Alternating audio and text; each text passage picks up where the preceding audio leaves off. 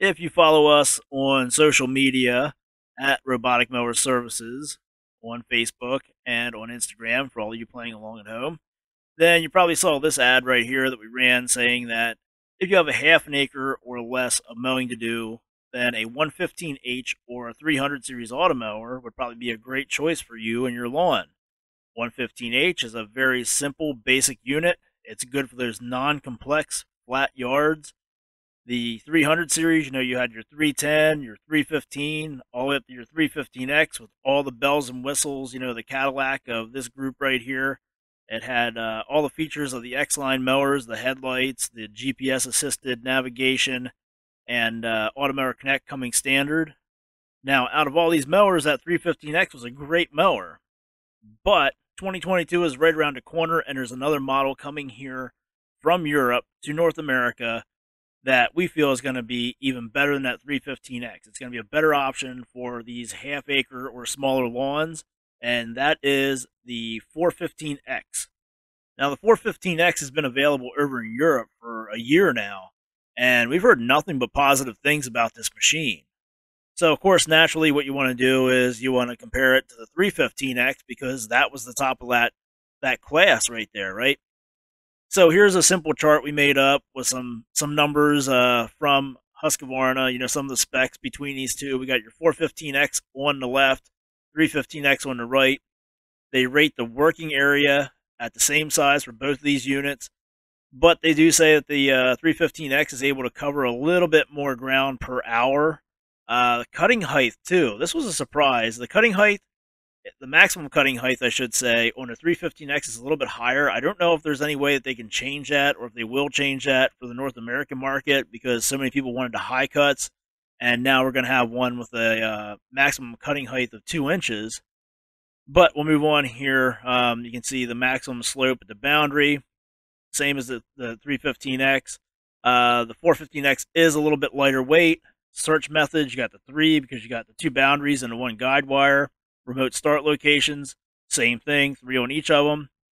Water resistance rating, IPX5 on the 415X compared to IPX4 on the 315X. So the 415X is sealed up a bit better than the 315X.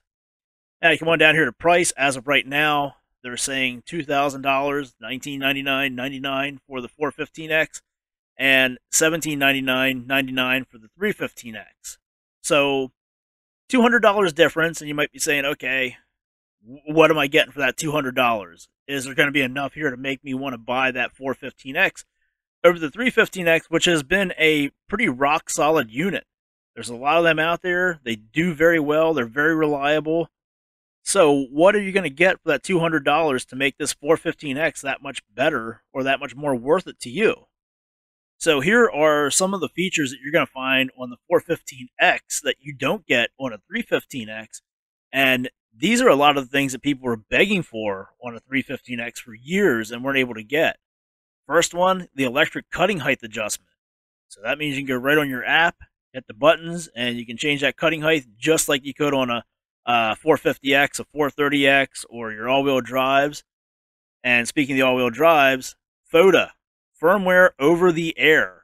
That's the big one that everybody's been wanting for so long on all their models of Automower, right? You're going to be able to go on your app, be able to do those software updates right through your app.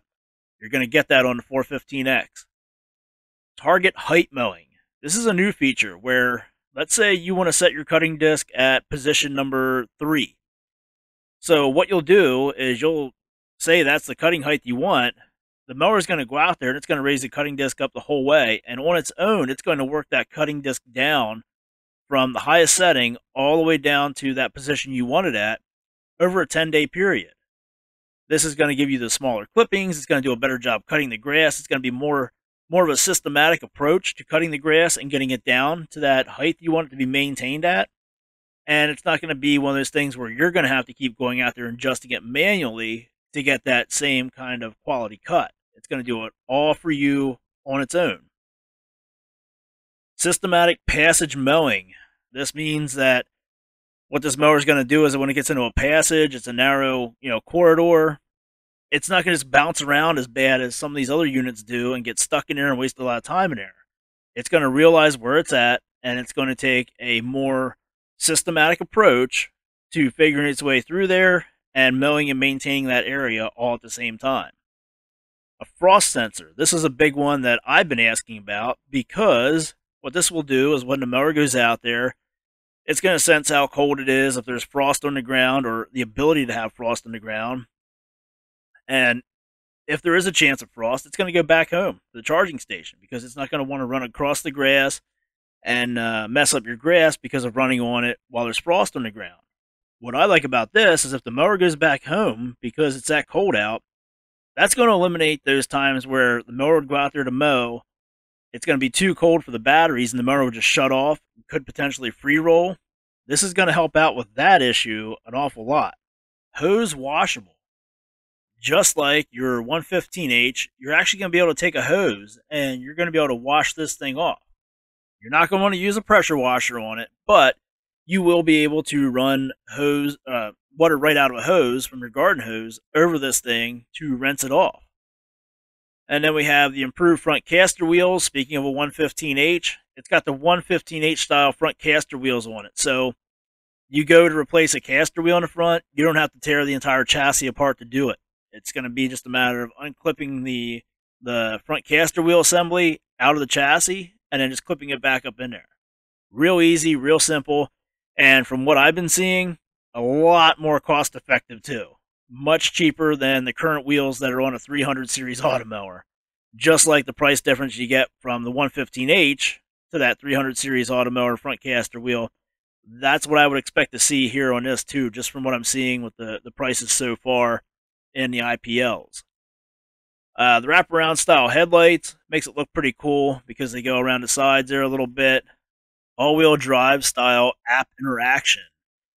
If you've never had an all wheel drive mower connected to your app, uh, you know, the Automower Connect app on your smart device, then you don't know what you're missing. But the all wheel drives on Automower Connect, they have a lot more features available to them.